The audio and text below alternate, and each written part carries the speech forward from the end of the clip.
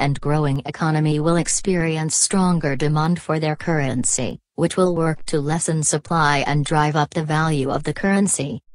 For example, if the Australian economy is gaining strength, the Australian dollar will increase in value relative to other currencies.